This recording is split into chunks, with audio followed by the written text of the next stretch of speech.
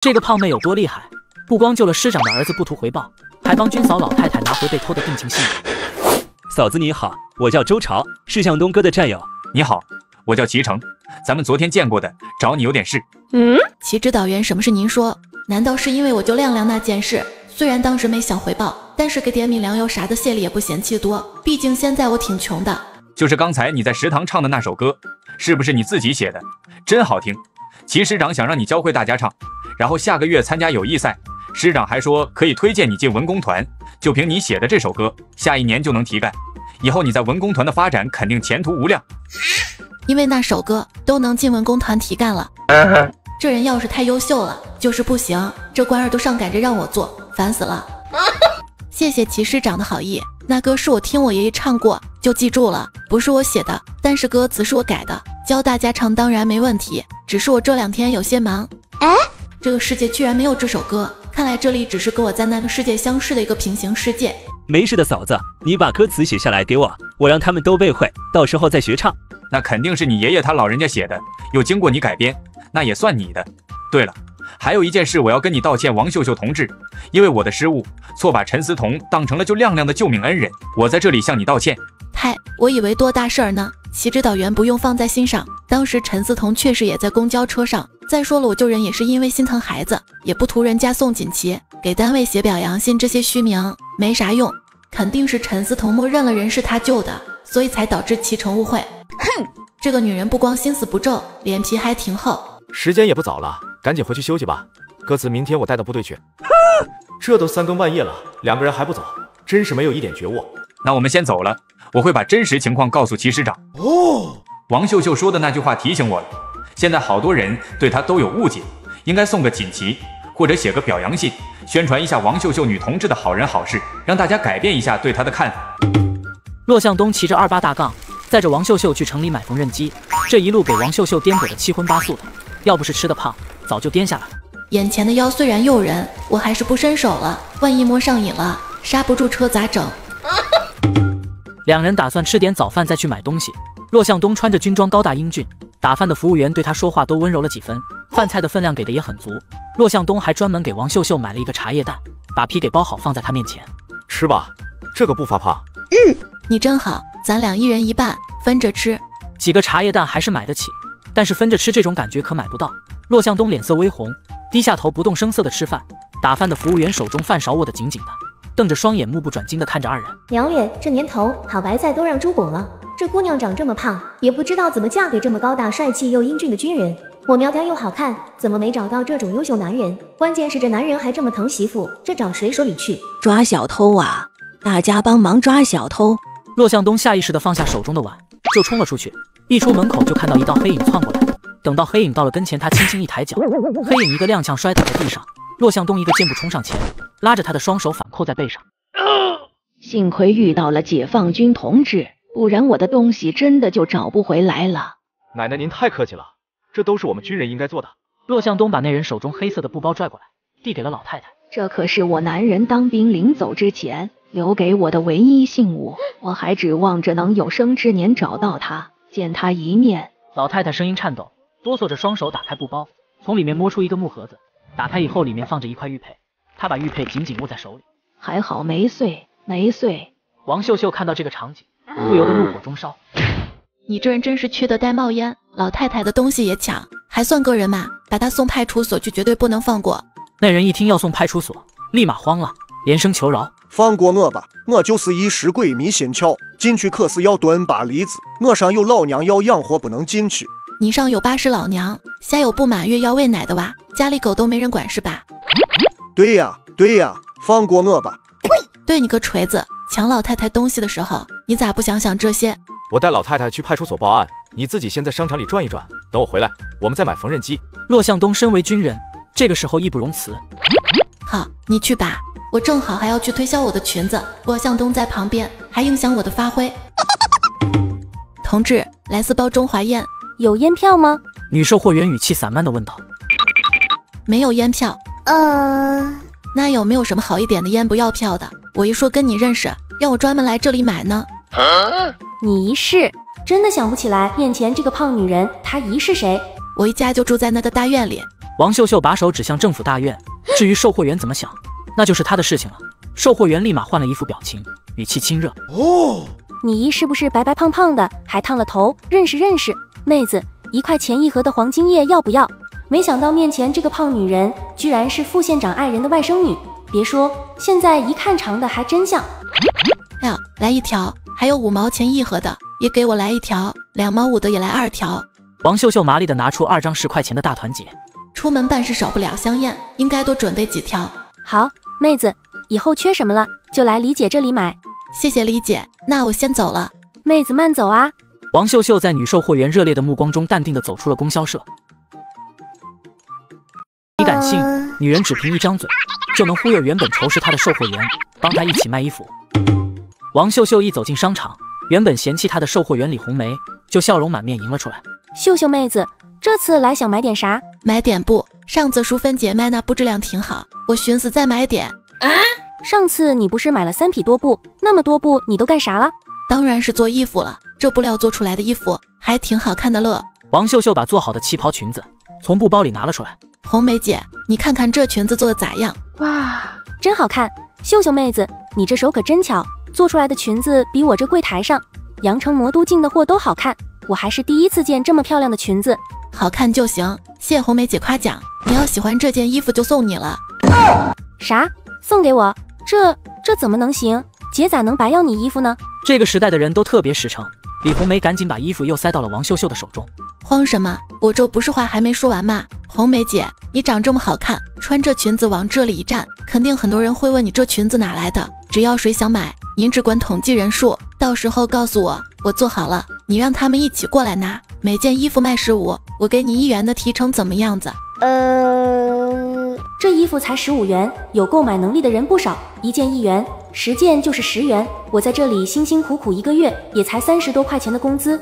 哇，自己今年这是要走财运了。王秀秀就是我的财神爷，妹子姐能认识你，真是上辈子修的福分。看你说的，红梅姐能认识你，才是我上辈子修的福分呢。也不知道淑芬姐那里还有这种布没有？有有有，多着呢。听说仓库还存了好一批这种布，主管正为这事发愁呢。除了那天你买走一些，这两天根本就没卖多少。那感情好，红梅姐，你看，这是老天让我们多挣些钱呢。正好一会我再去买上一台缝纫机，加班加点多做上一些，咱们也都挣钱，今年过个好年哦。对了，红梅姐，你们员工买缝纫机这些东西有没有优惠？主要是我叔叔挺忙的，我也不好意思买一台缝纫机就去打搅他，到时候他要非给我掏钱咋整？我妈说人情最难还。我的演技越来越炉火纯青，咋不是呢？不用那么麻烦，咱们员工内部价都是一样的。秀秀妹子，你有缝纫机票没？有的，有票就行。外边蝴蝶牌的缝纫机统一售价都是一百四十八。咱们员工内部价一百三就行，而且指标不多，我手里正好有一个，那又麻烦你了，红梅姐。一开始我就知道我跟姐姐有缘分，还不钱呢。送出去件裙子，不光能扩大生意，还能省十八块钱，值了。看你说这话，什么麻烦不麻烦的？这么好看的裙子，你都能送给姐，姐还不能给你帮个小忙了？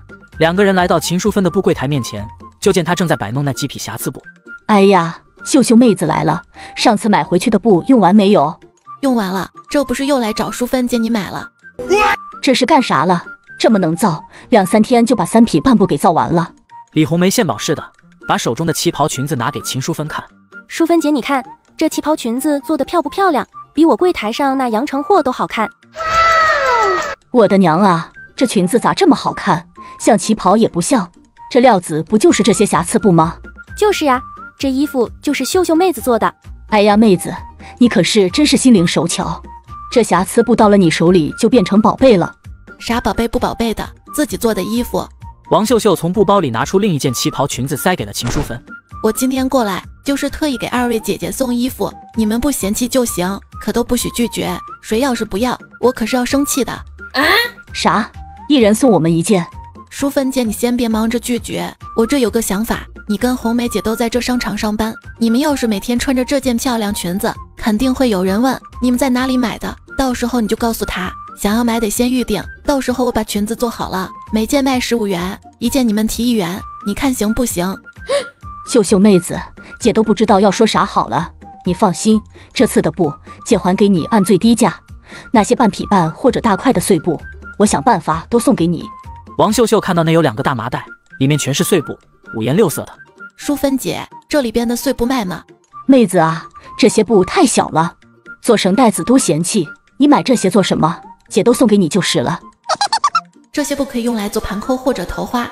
淑芬姐，直接去找你们主管吧，我要把这批瑕疵布都买过来，咱们囤起来慢慢做衣服。要不然等我们裙子卖开了，也会有人来找你买布，然后学着我们的样子做，那还怎么挣钱？哦，还是秀秀妹子想得长远。那我这就去找主管说去。这布这么便宜，别人买了做出来就会压价，我们还怎么挣钱？淑芬姐，一会儿你告诉主管的时候，别忘了给他透露，就说买布的人是张主任的侄女儿，到时候咱们也好办事。秦淑芬快步朝着商场里面走去。秦淑芬一脸喜笑颜开的回来了。秀秀妹子，你去吧，我已经按照你说的告诉了冯主管。冯叔叔您好，听我叔叔说，咱这里有一批库存瑕疵布要处理。我想着买谁的都是买，不如买自己人的，所以这不是来找您商量了。嘿嘿，说的是，小同志快坐。冯斌正在为仓库里那么多积压布发愁，这不就来救星了？谢谢冯叔叔，您叫我秀秀就行。我那边厂子里还有一个代加工合同要签，咱们就痛痛快快的。您仓库里还有多少匹瑕疵布都要了。王秀秀在那里一坐，腰背挺得直直的，特别有气势。别看穿的一般，但是一看就不像是什么一般人。冯斌刚开始还有点不信。这下子是真的全信了，脸上的神色都和蔼起来。既然你叫我一声冯叔叔，我也托大叫你一声秀秀侄女。这库房里的瑕疵布不光有碎花布，还有一些的确良布料。本来说是一批暗红色的，结果染的不均匀不说，整体布红的颜色还不一样。秀秀侄女，你要是都要的话，我都可以便宜一些给你。王秀秀故作为难的低头想了想，这个还要冯叔叔带我亲自去看一下，还能否利用起来？好，好，好。那咱们现在就去看秀秀侄女，真是少年英才，这么年轻就弄场子了。啥场子不场子，就是小打小闹的玩。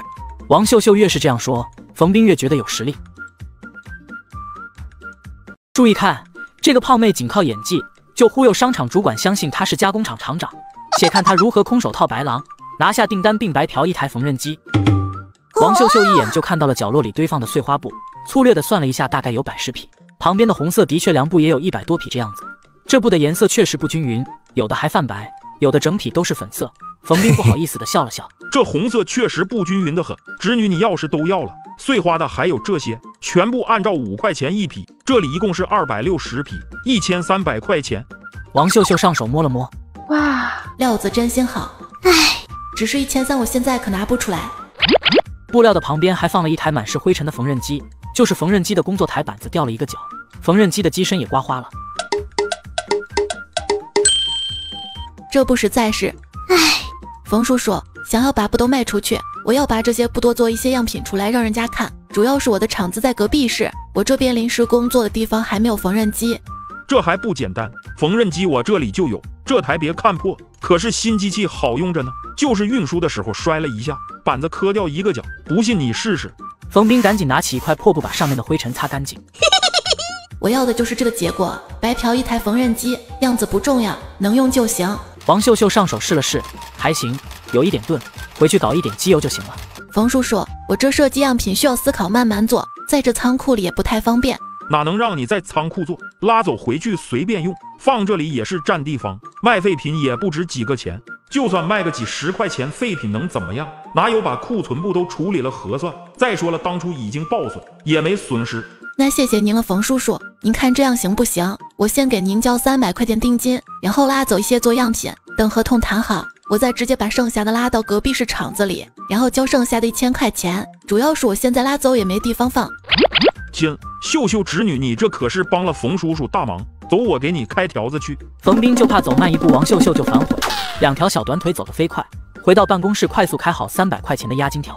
秀秀侄女，这布你先拿走多少匹？先拿三十匹吧，二十匹碎花，十匹的确良，剩下的下次一起拉。好。王秀秀收起条子，从包里拿出十块钱一条黄金叶，放在了桌子上。冯叔叔这么照顾我，我回去一定要给我叔叔好好说说，这是侄女孝敬您的，可不能推辞。话都说到这里了，再推辞就显得刻意。冯斌便笑呵呵地收下了那条烟。冯斌更欣赏王秀秀，嗯，这女子一看就知道以后肯定有大出息。怎么样，事情谈妥了？有两个姐姐帮忙，这事情自然是谈妥了。不过我需要找辆三轮车，帮我把布和缝纫机给运回家里去。对了，红梅姐，缝纫机不用买了，正好仓库里有一台破的，冯主管低价卖给了我，反正也能用破点无所谓。那感情好，只要是能做衣服，管它是新的还是破的，三轮车不用找，我儿子开机动三轮车过来的。我们家前几个月才买了一台十风机动三轮车，他平时给人家拉拉货，一会儿让小海帮你把缝纫机还有布送回去。那正好，一会把这里那两麻袋的碎布也都放上去。有两位姐姐帮衬，咱这生意想不火都不行。王秀秀不经意间的一回头，就看到不远处一个高大的背影，穿着军装，似乎在寻找什么。那不是骆向东吗？肯定是事情办完来商场里找我来了。王秀秀心情好，轻手轻脚的走向前去，想要吓他一跳，猛地在他后背拍了一下。王秀秀被面前的人扭住了胳膊，反手扣在了后背上。骆向东，你干什么呢？我就是想跟你开个玩笑，你怎么还下死手呢？哼！王秀秀被人压着胳膊，根本就无法抬起头来。李红梅和秦淑芬赶紧走了过来。哎，我说你这军人同志怎么回事？你这是把我家妹子当犯人了？快松开！他在身后猛地拍了我一下，我只是下意识反应有人偷袭，抱歉。男人说话的声音有些冷。王秀秀揉着疼痛的胳膊，回过头看到男人的容颜。怪不得我会认错，面前这男人的面相跟骆向东有五分相似，两个人身高体型都差不多，又都是穿着一身军装，这样就足足有七分像。对，对不起，我认错人了，我以为是我男人来找我了。王秀秀的眼神太过直勾勾的看着男人，让对方不由得生出一丝厌恶。骆月明家世优越，年纪轻轻已经是团长，从十八岁开始就有各种女人想尽办法跟他搭讪，他早就习以为常。只是王秀秀这种上来就说他像他男人这种，真是有些不知廉耻了。麻烦女同志下次记得看清楚了，自己男人怎么能认错？骆月明冰冷夹杂着一丝嘲讽的语气，让王秀秀内心很不舒服。抱歉。王秀秀也冷了脸，话音刚落，后面就响起了真正骆向东的声音。秀秀。骆月明本来还认定了是王秀秀故意跟他搭讪，等回过头看到骆向东的那一刹那，看来这次真的是我想多了，也许这个女人是真的认错了人。骆向东看到对面的男人。内心也是非常震惊，他自己家兄弟都没这么跟他相像。胖妹竟然认错了自己的丈夫，只因这个陌生男人跟她的老公长得很像。我刚才不小心把别人认成了你。骆向东看向对面的男人，我自己家兄弟都没这么跟我相像，对不起，我爱人认错人了，我代他跟你道歉。不，不用了，他也不是故意的，抱歉，女同志，可能我刚才说话的语气有些重。骆月明看着骆向东，有一瞬间短暂的失神。同志，能不能问一下你叫什么名字，在哪个军区？我叫骆向东，在齐南军区。你好，骆向东同志，我叫骆月明，在岭东军区。两个人握住对方手的同时，都有一丝奇怪的感觉。真是太巧了，两个人长得如此像，还都姓骆。有缘再见，骆向东同志。骆月明大步向商场里面走去。他本来就是出来执行任务，路过这里顺便买些东西。不是要买缝纫机吗？我们赶紧去吧。缝纫机我已经买好了，还买了许多的布，正好红梅姐的儿子有机动三轮车，帮我们一起拉回去。我们现在去仓库拉吧。小海，把你的机动三轮车开到库房门口去，跟你秀秀一大把手。王秀秀又独自返回商场里面去取那些碎布头。淑芬姐，你再给我扯上十尺白色的确良布，十尺黑色的确良布，我给我男人做两套衣服。好，妹子，你这男人找的真好，高大英俊，还是军人，简直是打着灯笼都找不到这么好的对象。我费劲巴拉穿越过来这里，可不单单是为了吃苦受罪的。秀秀妹子，能不能麻烦你一件事？你做衣服这么好看，能不能给我儿子也做上一套？这不过几天要去相亲，不知道谁跟女方说，我儿子他是个少一条腿的瘸子。女方家里我们一开始也已经坦白，小海一条腿有一点毛病，结果他们说我们不诚实，隐瞒缺一条腿的事实，一直不肯答应，也不见面，真是愁死个人。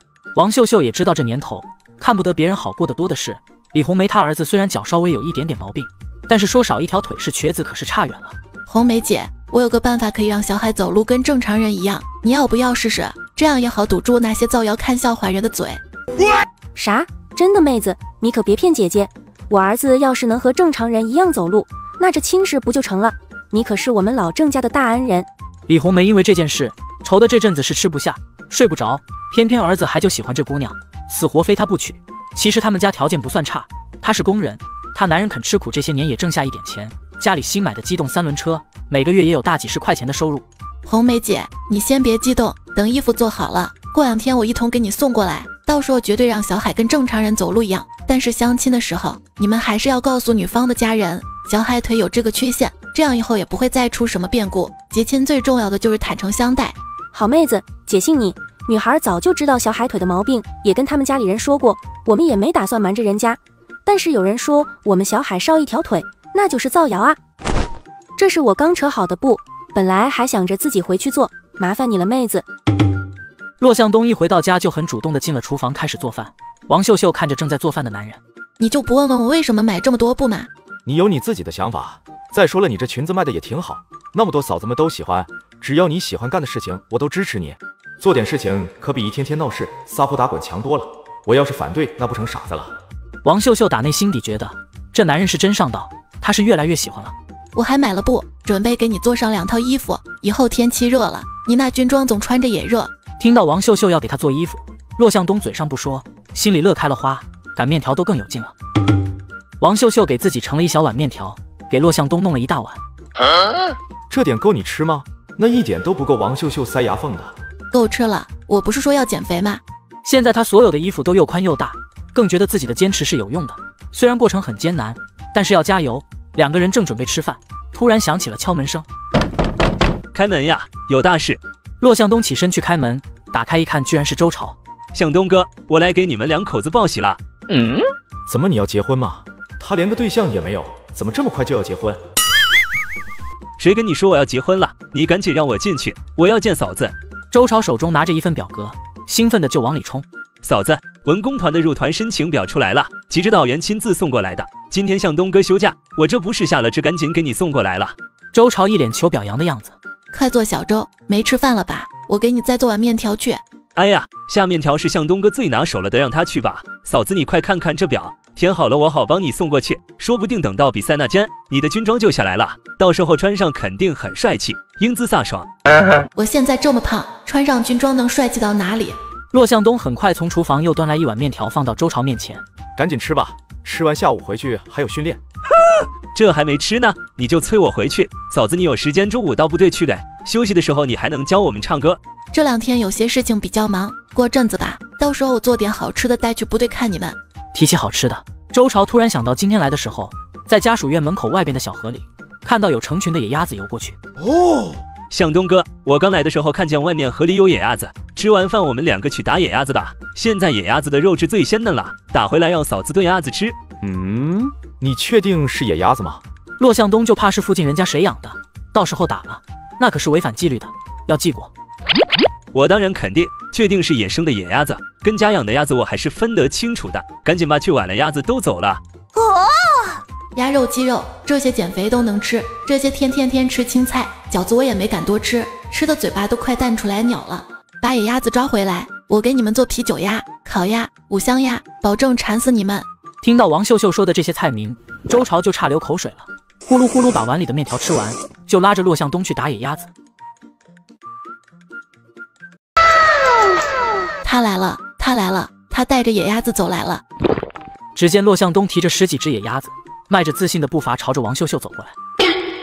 我滴个乖乖，你是捅了鸭子窝吗？还是把人家祖宗八辈一窝端了？这么多的野鸭子。嗯，外面河里打到的，你想怎么吃？我把他们都杀了，收拾干净。呃，这么热的天，家里又没有冰箱，这些鸭子也不能放太久。一会儿我去供销社买一瓶啤酒，我们晚上做一锅啤酒鸭，给嫂子们每人送上一碗。自己家反正吃不完，跟几个嫂子打好关系，下面做衣服还要用他们帮忙。好，那我把这些鸭子都收拾了。我先去把做好的衣服给嫂子们送去，等一会儿回来帮你一起。王秀秀送完衣服，提着两大篮子的东西回来了，都是嫂子们送的。像是出去进货去了。我回来了，出去给嫂子们送衣服，他们非要送东西，都不让拒绝。你看那我满满两大篮子的东西，还说就喜欢我，乐意给我。看来这人太可爱，招人稀罕，也是一件烦心事。礼尚往来嘛。一会儿鸭子做好了，你给他们每个人都送过去一碗。你这才几天，招人稀罕啊！以前狗增猫闲的日子，你都自动忘了吧？王秀秀一口气剁了七只鸭子。满满的一盆有十多斤，这就导致了他们家最大的锅也放不下。你能不能去素菊嫂子家借一下他们家的大锅？还有煤球炉子，咱们家的锅根本炖不下。呃，再多借一家吧，估计要三个火才行。骆向东提着两口大铁锅回来，后面还有两个看着面熟，但是不知道叫啥名字的，提着两个煤球炉子。把炉子都放外边吧，一会儿在门口炖，大家都别走，一会儿就在这儿吃。谢谢嫂子，我们去买些馒头回来。两个人又跑去食堂买馒头去了。王秀秀做了一锅辣的，二锅不辣的，光鸭子不够，里面还有土豆、辣椒、粉条子、干蘑菇，都是刚才嫂子们给的。要不然咱们在院子外面摆上几张桌子，让大家都一起过来吃饭吧。反正三大锅这么多肉，我再去做上去个素菜去。骆向东看到王秀秀这么明事理，内心非常的欣慰。好，我这就去通知去。没多久，外面就摆了七八桌，有的人家已经做好了饭菜，干脆把家里的菜也都端了过来。不能光带着嘴去吃，不是？王秀秀做的啤酒鸭还没端上去，外边的桌子上已经摆满了各种菜，正好她也不用做素菜了，只需要每桌上弄一大盆的啤酒鸭就可以了。王秀秀把啤酒鸭端上去的一瞬间，大家都用力的吸了吸鼻子，哇哦，真是太香了！这鸭子炖的比红烧肉都香。陈思彤两天不敢回家，到了天黑没办法，实在没地方住，才偷偷摸摸回来。没想到走到楼下，整个军区家属院的居然在门口摆宴席，这一回来，全部人都知道。王秀秀那个女人也不知道做了什么。那么香，跟个花蝴蝶一样跑来跑去，一脸的得意洋洋。哼，这个女人就是故意的，不就救了个孩子，居然还摆上了宴席，呸！不要脸，非得弄得整个家属院的人都知道，让我丢脸。最可气的是，那么多人没有一个跟他打招呼的。这些人也都是墙头草，以后去人民医院看病，别想找我帮忙，我一个也不会帮。陈思彤气鼓鼓的上了楼，一进屋发现黑乎乎的家里没人，这才松了一口气，去打开电灯，走到跟前才发现徐建达就坐在沙发上，也不说话。你在家里怎么不说话？吓死我了！那孩子到底是你救的，还是王秀秀救的？我我也救了，他也救了，问这个干嘛？哼，我让你说实话。陈思彤能听出来徐建达隐忍的怒气。我我我确实也救了，你这是干嘛？审犯人呢？我就没救人，又能怎么样？自己没本事，朝我撒什么火？你还要不要脸？你知不知道我在所有人面前丢了多大的脸？我怎么娶了你这么一个败坏门风、满嘴谎话的女人？陈思彤没想到徐建达敢动手，立马尖着嗓子骂道：“徐建达，你疯了吧？你居然敢砸我！人家多的是凭自己本事，你还想着指望我不成？要不是你办了这么丢人的事情，那么多战友在下面聚会，洛兄弟不可能不叫我，都是因为你，你这个搅家精连累我，我才被大家孤立。徐建达这个人最好面子。”这么多人，唯独不叫他，这不是打脸了？放你娘的！你自己没本事，怪得了我？再说了，那是你没有人家洛向东有本事，别人都愿意巴结他，那是你自己无能。呀！你敢打我，我今天跟你拼了！两个人在屋子里噼里啪啦上演了一套全武行，楼下面热闹得很，大家对王秀秀炖的啤酒鸭赞不绝口。以前我不懂事，说话做事都欠考虑，还要嫂子们多担待。今天借这个机会，给各位嫂子道个歉。秀秀妹子，你太客气了，谁还没个年轻的时候？就是以后多做一些漂亮衣服卖给我们，嫂子们就高兴了。因为太热闹，徐建达和陈思彤两个人在家里吵架的声音，众人根本没有听到，直到砸东西的乒乓声音传出来，才引起了大家的注意。呃，这么多人都在，听到两个人打架不上去劝架，有些说不过去。很快，几个跟徐建达相熟的人就准备上去看看。向东一起去吧，劝劝他们两个。齐成觉得喊徐建达下来吃饭，骆向东这个东道主不上去也不好看。骆向东不善言辞，但是既然齐成说了出来，他也不好拒绝。周朝起身立马也跟上了，他是抱着看热闹的心态去的。